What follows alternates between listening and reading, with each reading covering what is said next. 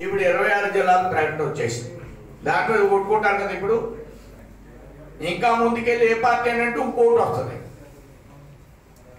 ఇంకోటి ఏదో ప్రవేశపెడతా. ఇవన్నీ మనం చూస్తున్నవే. ఈ ఫ్యామిలీ పార్టీలు మాడ్యూల్స్ ఇలాగే ఉంటాయి. ఇంప్లిమెంట్ చేయమని భారతీయ జనతా పార్టీ డిమాండ్ ఇవ్వాలి కాదు పద్నాలుగు నుంచి ఉన్న ఆలోచన. ప్రభుత్వం ఈవేళ ఇంప్లిమెంట్ చేస్తే మంచిదే. ఇంకా చాలా చేయాలి కదా. ఉద్యోగస్తుల యొక్క పిఆర్సీ సంగతి ఏంటి? దానికి కూడా సమాధానం చెప్పాలి కదా. ప్రజల్లో ఉన్నటువంటి అభిప్రాయాలు దాని వివాదాలు అనకుండా వాళ్ళ కోరికలు అంటున్నారు ఆ కోరికలు పరిష్కరించడం కోసం మీరు నిర్ణయం అప్పుడే తీసుకోవద్దు. జిల్లాలు ఇన్ ప్రిన్సిపల్గా ప్రకటించండి. ఎక్కడ సెంటరు ఏ పేరు ఎవరెవరు ఎక్కడ దగ్గర ఇవన్నీ వర్కౌట్ చేయండి.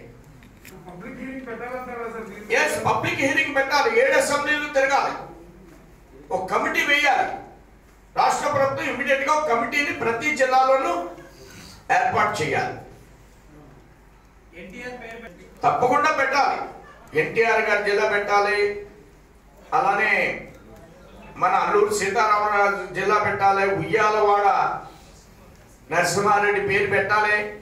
తెన్నేటి విశ్వనాథం గారి పేరు పెట్టాలి. అట్లనే ఆంధ్రకేశ్ గారి పేరు పెట్టాలి. ఇట్లా రకరకాల అభిప్రాయాలు ప్రజలు చెప్తున్నారు. అవి వినాలంటున్నాను. నాకు నూట యాభై ఒకటి వచ్చింది కాబట్టి మీరు అందరూ ఓటేశారు కాబట్టి నాకు పట్టా ఇచ్చారని ఆయన అనుకోవాల్సిన అవసరం లేదంటున్నా. అది కాబట్టి ప్రజలు ఇలా ఇలాంటివి అనేకమైన డిమాండ్లు ఉన్నాయి. ఆ డిమాండ్లు వినమంటున్నాను ఈ ప్రభుత్వాన్ని. కమిటీని కాన్స్టిట్యూట్ చేయమంటున్నాను. చర్చ రాజకీయ పార్టీలు కాదు ప్రజలతో చర్చ చేయమంటున్నాను. మాట్లాడాము ఈ జిల్లాల గురించి. మా మేనిఫెస్టోలో హరిబాబు గారు అధ్యక్షుడిగా ఉండగా మాట్లాడినటువంటి అంశం పద్నాలుగులో. ఇది మా ఎజెండా. చెప్పడానికి నేనేమి ఇబ్బంది పడను. పెట్టేటువంటి చర్య దీనికి అన్నింటికి కూడా డబ్బు లేనటువంటి అడ్డదారులు ఇవి. ప్రభుత్వం దగ్గర డబ్బు లేదు అప్పులు చేస్తున్నారు. అలాంటప్పుడు ఈ ఇబ్బందులన్నీ ప్రజలు ఎదుర్కొంటారు నిరుద్యోగులు ఎదుర్కొంటారు ఉద్యోగస్తులు ఎదుర్కొంటారు. దీని పరిష్కారం నేనేం చెప్పాను? ధైర్యమైనటువంటి పరిష్కారం ఇది. ఒకే ఒక్కటి సినిమాలో జరిగినట్లుగా జరగాలి ఆంధ్ర రాష్ట్రంలో. ఈ గన్నులన్నీ ఆడబెట్టండి. నా వెంటనే రద్దు చేయాలి. మొట్టమొదటి సంతకం అది అయి ఉండాలి. ఎటకిరాలు ఆడదా? కొండల మేపలు గీసేస్తారా? సీమ గుర్తులో వెళ్ళి కూర్చుంటారా? ఎవరు ఇవి? ఎర్రచందనం ఈవేళ విచ్చలవిడిగా కొట్టిగా అమ్మేసుకుంటారా? మీరు ఇలాంటి పనులు చేస్తున్నారు కాబట్టి అధికార యంత్రాంగం మీద పట్టును కోల్పోయింది వేళ ప్రభుత్వాలు. అది డెవలప్మెంట్కి విఘాతం. గంజాయి రోజు బెయిల్ ఇచ్చేయడమేనండి గంజాయి పట్టుకు ఇప్పుడు వచ్చి గంజాయి నిలబడి నిడుపుదల చేయలేడండి ఈ ముఖ్యమంత్రి కానీ గత ముఖ్యమంత్రి కానీ అది ఏమన్నా చైనా నుంచి చైనా నుంచి మన మన బోటలోకి వస్తే సైనికుడు వెళ్ళి వెంటనే పట్టేస్తున్నాడు.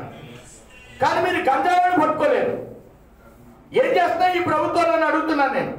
మీరంటే భయం లేక మీరు బలహీనులా చెప్పండి. జిల్లాలుగా విభజించాం. దానికి ఇద్దరు అధ్యక్షులు ఉన్నారు మాకు ఇప్పుడు. అంటే అఫిషియల్గా భారతీయ జనతా పార్టీ ఈ ప్రక్రియని పార్టీ పరంగా ఎప్పుడూ ప్రకటించడం జరిగింది. అది ఈవేళ ప్రభుత్వం పరిగణించింది. పరిగణించింది. కానీ ఇప్పుడు చర్చ జరుగుద్ది. పెద్ద ఎత్తున చర్చ జరుగుద్ది. రకరకాల అంశాలు ప్రధానికం వాళ్ళ మనసులో ఉన్నటువంటి అంశాలను చెప్తారు రాజంపేట జిల్లాను ఈ విధంగా చేయాలి. రాజమండ్రి జిల్లా రాజమండ్రి పార్లమెంట్ తూర్పుగోదావరి జిల్లా ప్రకటించింది. తూర్పుగోదావరి ఏంటి పశ్చిమ గోదావరి జిల్లాలో పార్ట్ కూడా అందులో ఉంది. మూడు అసెంబ్లీలు పశ్చిమ గోదావరి జిల్లాలో ఉన్నాయి. దాని తూర్పుగోదావరి జిల్లా అని ఇప్పుడు ప్రకటించింది. నేను దేన్ని వివరిస్తున్నాను తప్ప ప్రశ్నించడం లేదు.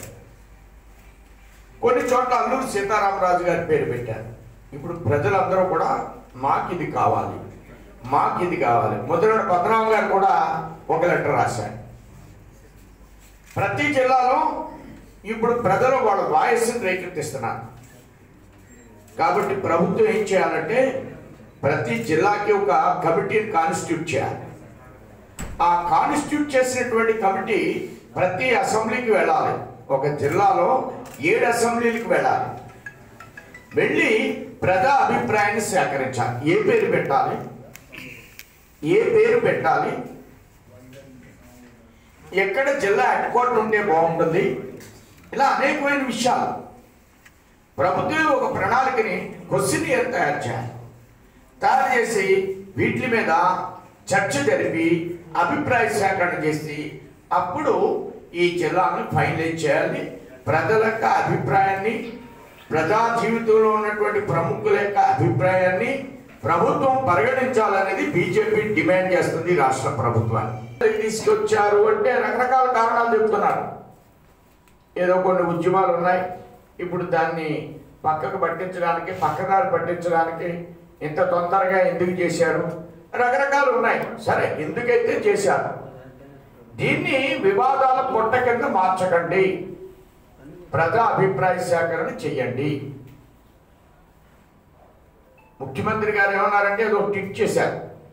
రాజ్యాంగం అంటే ప్రజలు ఎవరికైతే హక్కిస్తారో వాళ్ళదే రాజ్యాంగం అంట. నేను ఒక ట్విట్టర్లో చూశాను. అంటే మీకు అధికారం ఇస్తే ఇంక రాజ్యాంగం మీ సొంత రాజ్యాంగమా? ముఖ్యమంత్రి గారు వెంటనే ఈ మాటను వెనక్కి తీసుకోవాలి. ప్రజలు నూట యాభై ఒక్క సీట్లు ఇచ్చారు కాబట్టి మీరు కాన్స్టిట్యూషన్ మళ్ళీ తిరిగి రాసినారా ఆంధ్రప్రదేశ్కి వేరే కాన్స్టిట్యూషన్ ఇస్తావా ఏంటి? అది సాధ్యపడేటువంటి అంశం కాదు. మనకు పూర్తి మెజార్టీ ఉండొచ్చు. కానీ దానికంటూ నిబంధనలకు అనుగుణంగా పనిచేయాలి. మన ఇష్టం వచ్చినట్టు పనిచేద్దాం అనేటువంటి అభిప్రాయాన్ని ముఖ్యమంత్రి గారు వెంటనే పక్క తీసుకోవాలని నేను డిమాండ్ చేస్తున్నాను.